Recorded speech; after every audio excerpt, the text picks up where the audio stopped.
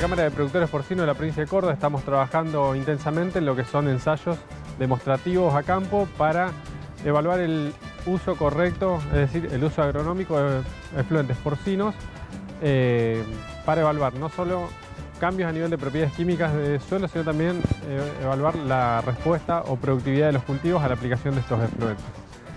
Eh, hicimos tres evaluaciones en tres sitios distintos de la provincia de Córdoba, uno en Villa María de Río Seco, haciendo un ensayo en maíz con aplicación del efluente a través de un método que es un cañón regador, después en San José de la Dormida, también en maíz el ensayo con una máquina estercolera y un tercer ensayo en la localidad de Despeñaderos utilizando un riego eh, por pivot central. Es decir, son tres métodos de aplicación diferentes a través del cual se pueden eh, hacer el uso agronómico de los efluentes porcinos y de esta forma dar una solución a, aquellos productores porcinos que todavía no encuentran una respuesta a qué hacer con los efluentes. Muchos se plantean que es un problema y nosotros estamos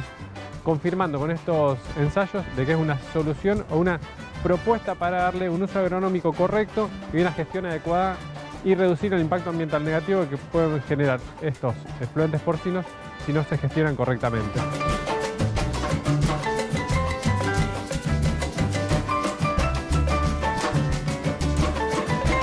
En los tres ensayos, tal cual como lo solicita la provincia de Córdoba, tomamos el efluente de una segunda laguna de estabilización. Estas lagunas estaban impermeabilizadas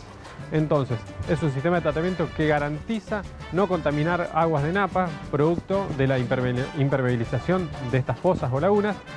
Y eh, en el caso del sistema de riego por central, tiene una criba, que es un tipo de filtro que impide el paso de elementos sólidos al sistema de riego para evitar que se tapen los picos.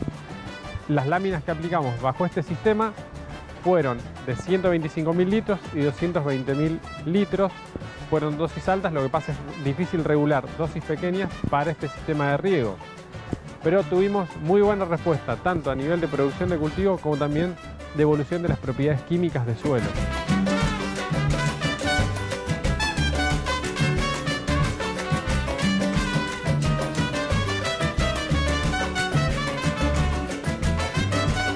No solo sirvió como un aporte de nutrientes, sino también como lámina de riego el, eh, la aplicación de efluente porcino.